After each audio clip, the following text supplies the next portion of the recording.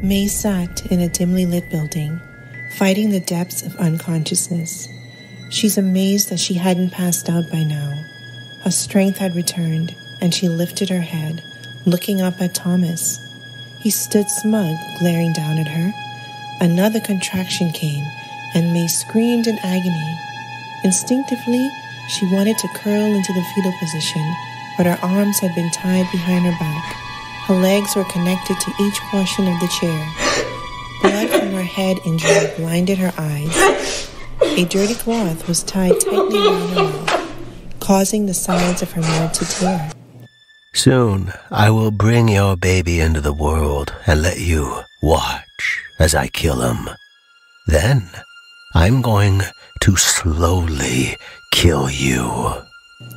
The madman took the form of a demon in May's eyes. May fought back the tears. She had known that something terrible was about to happen when she had met her mother for lunch. Now, May was convinced that this had been arranged by Song. May never would have thought her mother could be capable of something like this. But what was she to think now? Why would Thomas snatch her from the same restaurant? He had perfect timing, dragging her from the booth and shoving a gun in her side.